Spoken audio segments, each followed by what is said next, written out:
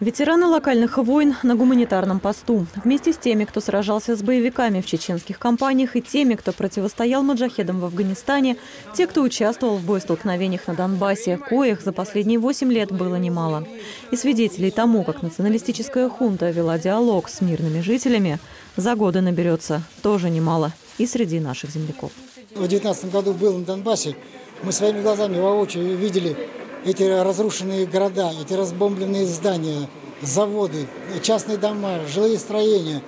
Э, Это просто было неописуемо. Те 8 лет э, ужаса и кошмара, которые прожили эти дети, э, маленькие еще, совсем не понимающие, но уже различающие взрывы мин и артиллерийских снарядов, это надо понимать, ценить. И вот сегодня мы приехали их навестить. И не с пустыми руками. Кому, как не им, знать, как нужна помощь и поддержка тем, для кого обстрел родной улицы стал делом ужасной повседневности.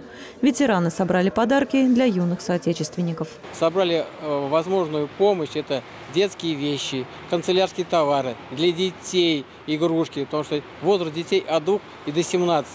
И вот эта вот э, такая акция, она сегодня первый день от нас, от ветеранов. Я думаю, она продлится. Вместе мы сила.